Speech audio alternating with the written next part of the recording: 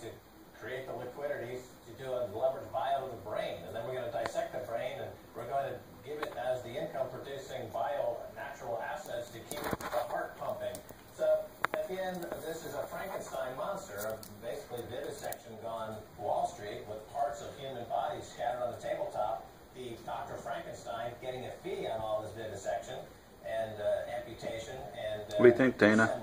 And uh, nevertheless, all the people involved are on the table, scrappies or ghettos or being uh, having an experimentation on them done by these same cheap credit fueled Frankenstein.